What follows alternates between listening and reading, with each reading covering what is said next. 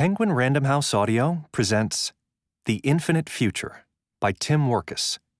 Read for you by a full cast. Foreword by Tim Wirkus. Really, this foreword should take place in the lamplit reading room of a classy Victorian gentleman's club. Or better yet, in a grand old house on Christmas Eve, where party guests swap strange tales next to a crackling fireplace. As I understand it, those are the two most appropriate locations for receiving a peculiar manuscript whose provenance is nearly as intriguing as its contents. And as it happens, the book you currently hold in your hands began its life as just such a manuscript. In a perfect world, the story of my first encounter with it would take place in a fittingly mysterious locale. Unfortunately, real life is rarely so obliging, and so this story, or at least my very small part in it, begins in the refrigerator section of a Texaco food mart, a few blocks from Weller Bookworks in Salt Lake City. Having worked up an appetite, giving a reading from my first novel at the bookstore earlier that evening, I was currently on the prowl for a local brand of chocolate milk my sister had told me I needed to try before I left town. My flight back to California left first thing the next morning, and so my window of opportunity on the milk was closing fast. A cursory glance at the Food Mart's glass doored refrigerators did not bode well.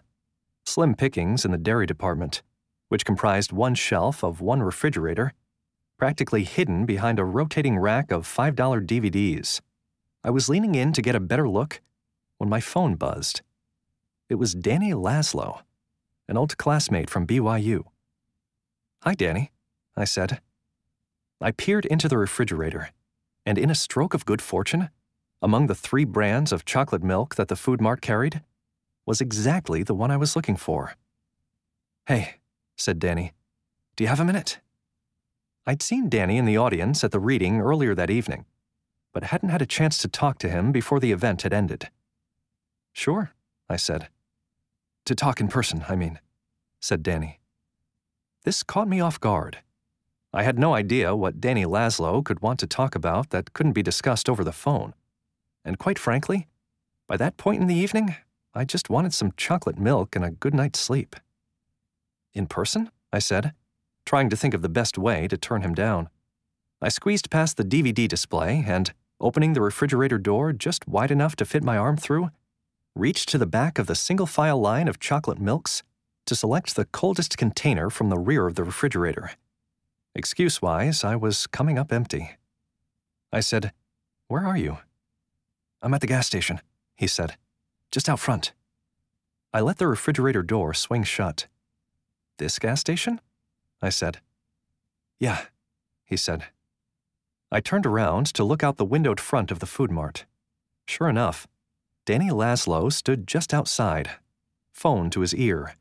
He gave me a sheepish nod and raised his free hand in a short, businesslike wave. Did you follow me here? I said. Well, he said. I needed to talk to you. I didn't know what to say. Chilled pint bottle in one hand, I stood there for a moment, staring dumbly. We were close enough to see each other, but too far away to talk without using our phones, a situation that never fails to make me very uncomfortable. I'll be out in a second, I said, and hung up as quickly as possible. Danny Laszlo and I first met back in 2005 in an undergraduate creative writing workshop at BYU. I was a recently returned missionary at the time, still reacclimatizing to civilian life.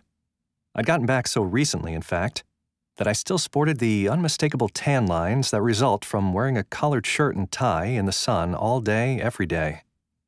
I felt conspicuous and awkward, even, or especially, at BYU. I was relieved then, on the first day of class, to spot somebody else sporting missionary tan lines of their own. A tall, solidly built guy who would have been a dead ringer for a young Orson Welles, if not for his light blonde hair. I sat in the desk next to his and introduced myself. He said his name was Danny Laszlo. I asked him if he'd just gotten back from a mission. He said he had, and a bit more small talk revealed that we'd both served in Sao Paulo, Brazil, although in different parts of the city. It quickly became apparent, though, that Danny had little interest in swapping anecdotes of missionary life in Brazil. Instead, he asked me what music I'd been listening to since getting home. I told him the Strokes and the White Stripes, the Shins a little bit. That's pre mission stuff, though, he said. What new stuff are you listening to? I told him I was still catching up. You need to be listening to the new pornographers, he said. Twin Cinema just came out a couple weeks ago. Best album of the year. You like power pop? And so we talked music until class started. Then, while the instructor, the other students, and I went over course objectives, policy, and scheduling, Danny worked his way through a crossword puzzle he kept screened behind his copy of the syllabus. Based on initial impressions, I expected to become good friends with Danny Laszlo. Over the next three years, however, our acquaintanceship followed an asymptotic path, in which our interactions grew increasingly genial without ever reaching a state of true friendship. Though chronically affable, Danny maintained a tight seal over the personal details of his life which kept me and others at a perpetual distance.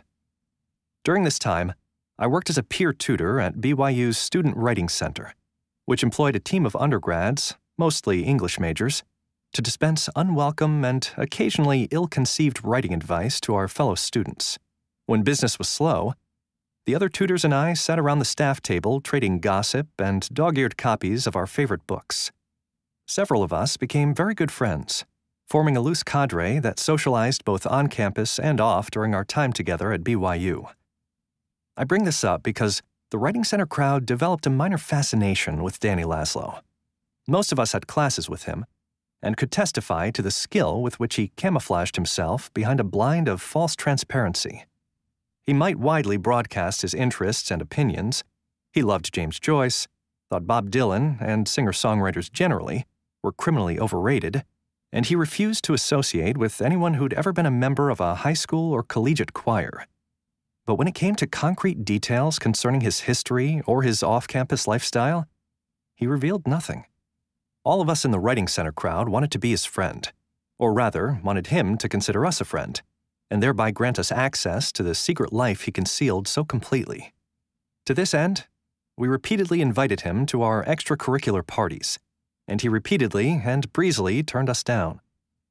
The truth is, in our heart of hearts, none of us believed that Danny's private life would be that much more interesting than any of our own. But still, we wondered.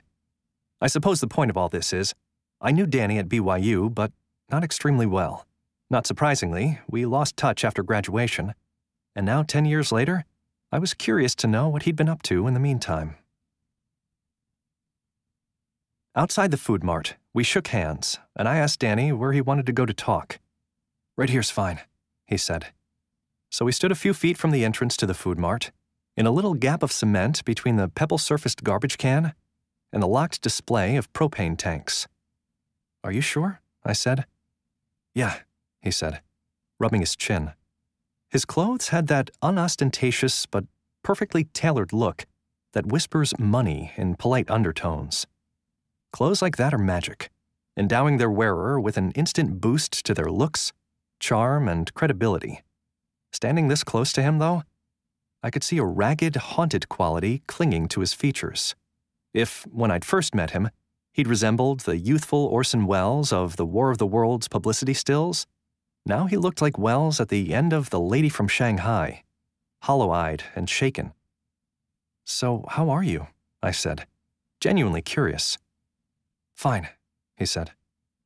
Danny had clearly retained his reluctance to discuss any details of his private life. Only with considerable effort did I learn that he was an associate at a prominent Salt Lake law firm, one that even I had heard of. This was a group of attorneys who, by all accounts, shaped the very fabric of the city according to their, or rather, their clients' whims. Wow, I said. How do you like it there? It's exhausting, he said. Long hours? I said. Yeah, he said. That's part of it. A car drove slowly past us, pulling in next to the nearest pump. Listen, said Danny. I don't mean to change the subject here. Well, actually, that's exactly what I mean to do, so let me get to it. You have connections in publishing, right? Kind of, I said. You don't have to be modest, he said. I was not being modest. Anyway, you're better connected than I am he said. And that's why I wanted to meet this evening. I have a manuscript for you. You wrote a novel? I said. We hope you enjoyed this preview. To continue listening to this audiobook on Google Play Books, use the link in the video description.